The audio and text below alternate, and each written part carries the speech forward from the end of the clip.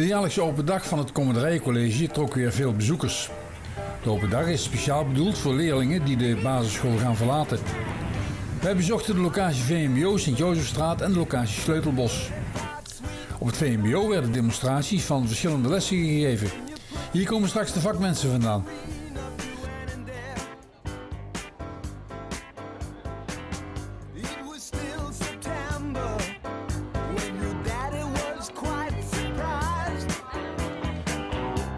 To find you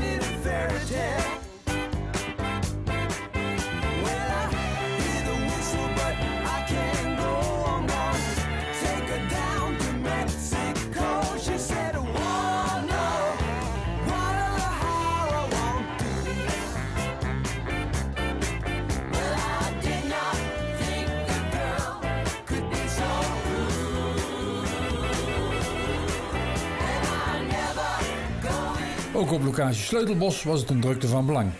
Wat kunnen nieuwe leerlingen hier verwachten?